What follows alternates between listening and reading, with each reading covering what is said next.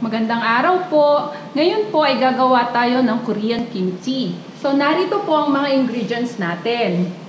Una po, meron po tayong hot pepper powder or kutsukaru sa Korean.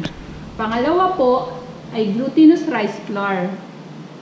Meron po tayong napa cabbage or pechay bagyo, radish, carrots, spring onions, patis,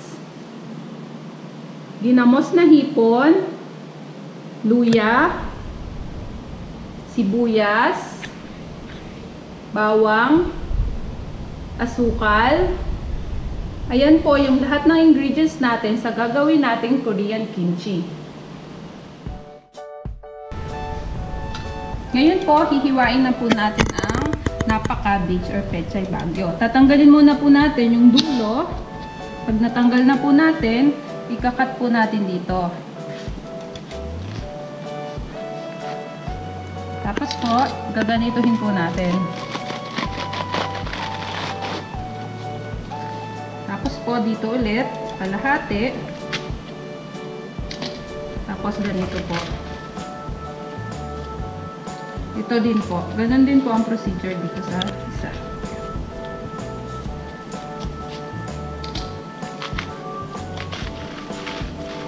Yan. Fresh pa po yung ating napakalich.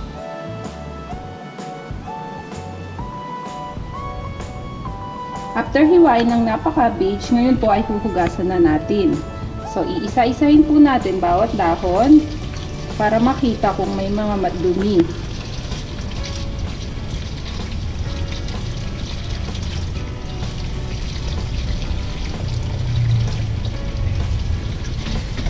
Po, ilalagay po natin dito.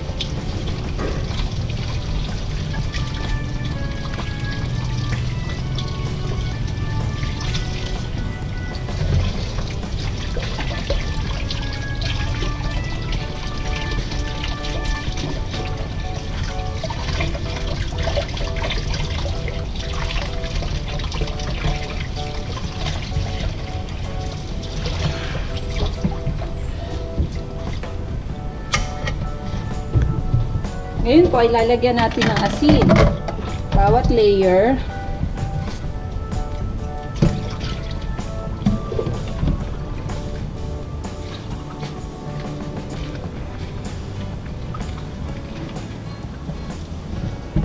At ibababad po natin for 2 hours. And every and every 30 minutes po, babalik rin natin.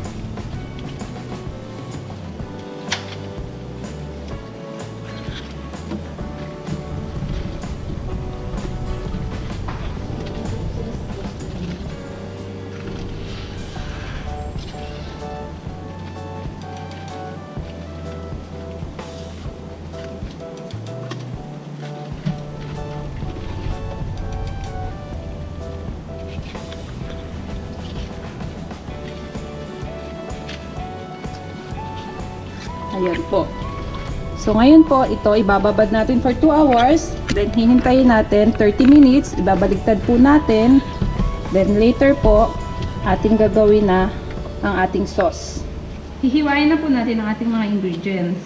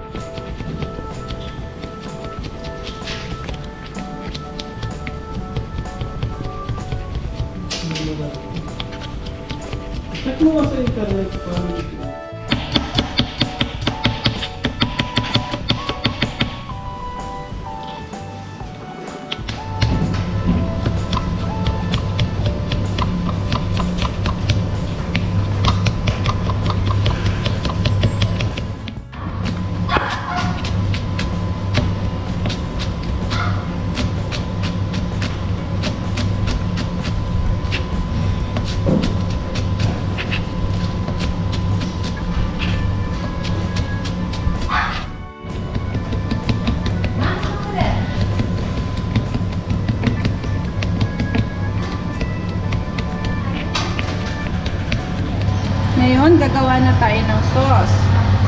Kailangan natin ng 1 cup water. Half cup. So, 1 cup of water. Ngayon, lalagyan na natin ng rice flour. Isang kutsarang rice flour ang ilalagay natin.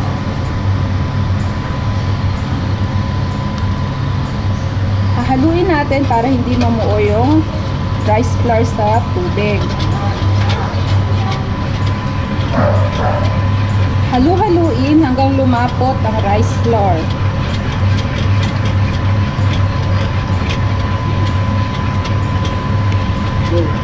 Malapot na ang ating rice flour. Ngayon, lalagyan natin ng isang kutsarang asukal.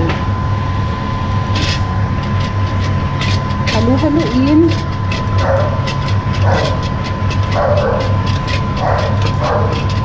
Ngayon, ganito na siya.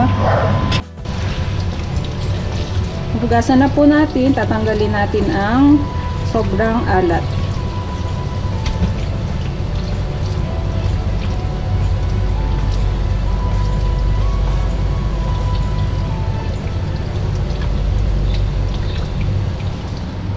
Ngayon po, paghahalu-haluin na natin ang ating mga ingredients.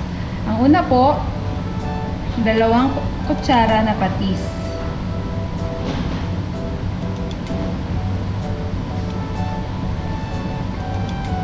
Halo po natin.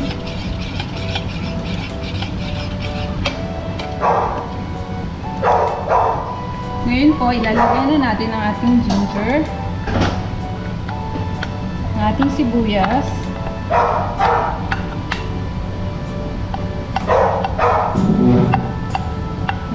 bawang. Haluin po natin sila. Malagay po natin ang 1 4 cup na kutsukaru or hot pepper powder. Susunod po, haluin muna po natin. Depende po ito sa inyong panlasa. Kung gusto nyo po mas maanghang, okay lang. Damihan nyo po ang inyong hot pepper powder. Susunod po, hipon, radish, carrots, at spring onions.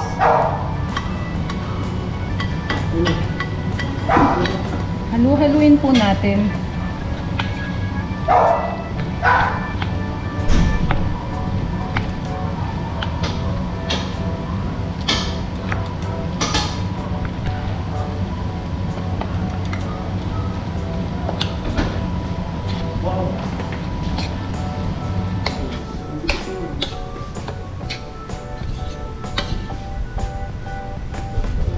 Ready na ang ating sauce at ang ating napa cabbage. Ngayon, gagawin na natin ang ating kimchi.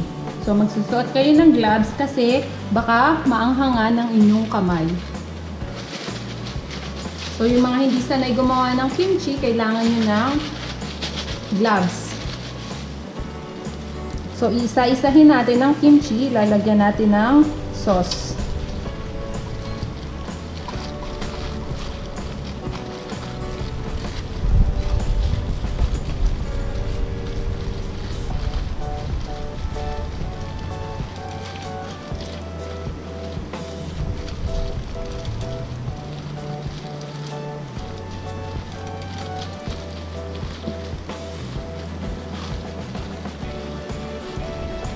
Ilalagay natin sa container na ito.